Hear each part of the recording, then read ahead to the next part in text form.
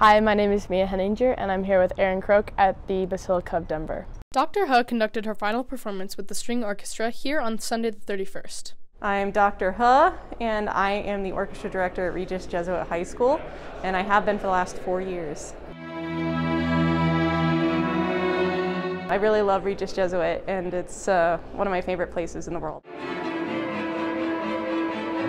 I feel like we're just one big family. Like each section just clicks really well, and we just like each other.